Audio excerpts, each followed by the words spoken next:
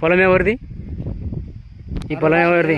పొలంలో వచ్చింది ఏమది మీరు గుత్తకేసుకుంటున్నారు దీన్ని? గుత్తకేసుకుంటున్నాం ఎన్నేళ్ళే రెండేండ్లు అవుతుంది రెండేళ్ళు అవుతుంది? మరి రెండేళ్ళు గుత్త ఎంత కడుతున్నారు? పదహైదు వేలు కడుతున్నాం. మరి ఈ పైర ఎన్ని నెలల పైర ఇది ఇప్పుడు? ఇది మూడు నెలల పైర ఇప్పుడు పత్తి కూడా పలుగా కాయలు కాసినవి. పత్తి ఒక్క నెల ఉంటే పత్తి పలుగుతుండే. మరి మీకు ఆయనకి మాకు ఇప్పుడు ఇంత నష్టం కాబట్టి మరి ఎవరు కట్టేటట్లా మాకు న్యాయం చేయాల? ఏమైంది? పాసిపోయినాడు. ఎట్లా దున్నిచ్చిపోయినాడు కన్నెగా. దున్ని అడ్డం పట్టి దున్నిచ్చిపోయినాడా? దున్నిచ్చిపోయినాడు.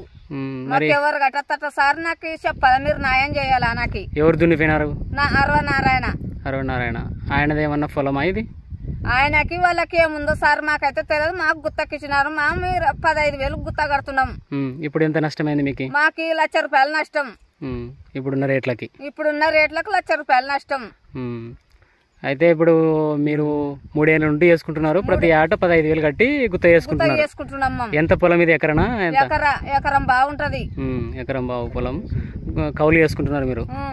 కౌలు చేసుకుంటుంటే మీకు ఆయన వచ్చి మీరు లేనప్పుడు? లేకుంటే మీరు ఉన్నప్పుడు ఊరు లేము. ఊరు పైన పైన పత్తి నాటితే పై పోయినాము ఉమ్.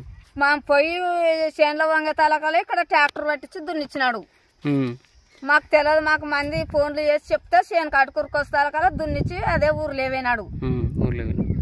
సరే మీరు న్యాయం ఏం కోరుకోవాలనుకున్నారు మాకు న్యాయము మాకు డబ్బులు కట్టేటట్టనా మాకేం చేస్తారు సారోళ్ళే ఉండ మీరు సారోళ్ళే న్యాయం చేయాలి మాకు? సరే సరే. మాకైతే లక్ష రూపాయలు నష్టం కట్టాలా కంపల్సరీ.